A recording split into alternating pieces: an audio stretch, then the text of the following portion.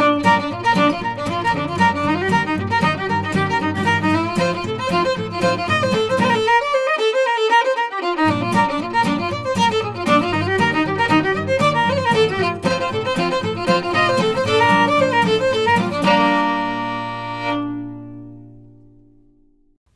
Frenchie's Reel is a great uh, Canadian reel that's written by Ward Allen and a gentleman by the name of Mel Lavigne, I believe.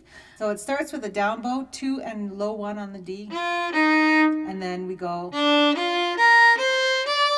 So it's an open on D, then a low two, and one, two, three on A. And keep in mind that one is low.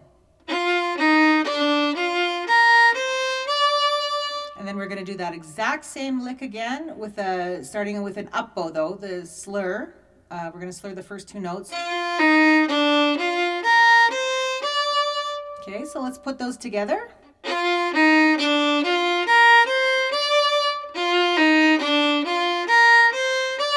Now right after that, we're just going to continue on and do an up bow slur with one, two, one, Time for the advanced tutorial for Frenchie's Reel, one of my favorite tunes in B flat, great key.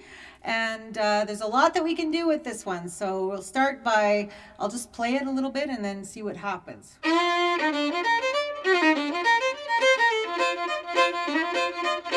All right, so a few things right in there. Uh, I do a couple of triplets and I do actually a slide right in leading into that first note. Just sliding into that F.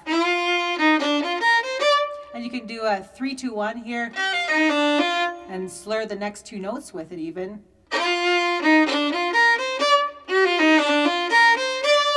So try that.